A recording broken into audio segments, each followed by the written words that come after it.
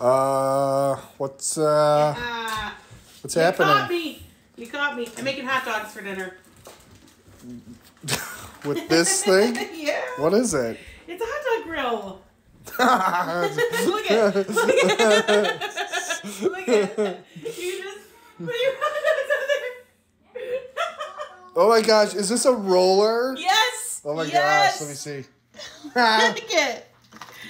You put the hot dogs on there, and they're gonna be evenly cooked. oh my I know. goodness. I know. Okay, hold on. Let Oh look, just- it even has a rack at the top. It has a. Those are for the buttons.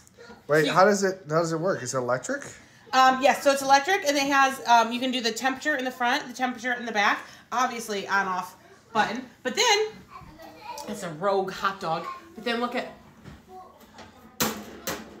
That's awesome. done, and you can open it without risk of burning yourself. Right. So you give this a couple minutes, it cooks, and then like you do this for a huge party, and you don't have to sit at the grill, and you just have this.